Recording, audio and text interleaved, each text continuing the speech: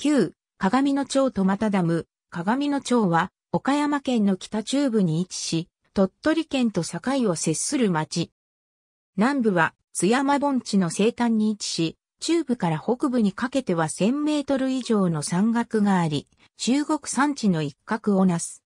町の中部を吉井川が北から南に流れる。旧奥津町、旧上西原村、旧府村は豪雪地帯となっている。鏡野町役場と又郡鏡野町竹田660番地奥津振興センター。トマタ郡鏡野町伊坂495番地上西原、振興センター、トマタ郡鏡野町上西原514番地1、不振興センター、トマタ郡鏡野町富西谷125の1強、国町江南市大洗町三笹町小学校、編集中学校、編集町内を通る鉄道はない。町内を通る高速道路はない。最寄りのインターチェンジ、中国自動車道、インノ省インターチェンジ所在は津山市だが、真庭市の地域情報もカバーしているケーブルテレビ地名は基本的に合併前と変わらない。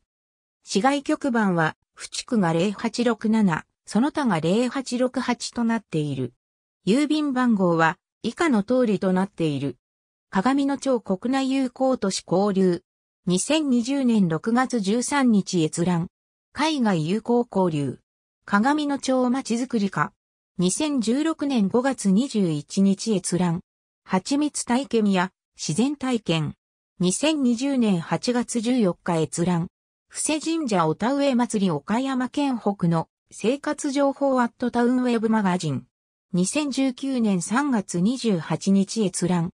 第27回オンバラ高原合理門祭り、岡山県北の生活情報アットタウンウェブマガジン。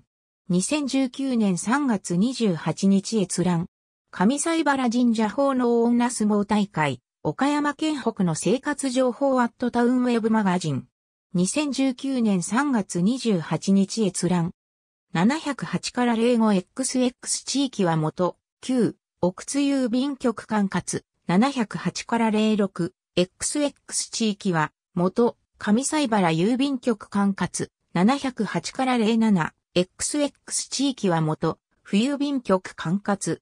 それぞれ、1999年に、旧、奥津郵便局、2006年に、上西原郵便局、2017年に冬便局の無臭廃局化に伴って、奥津郵便局へ移管。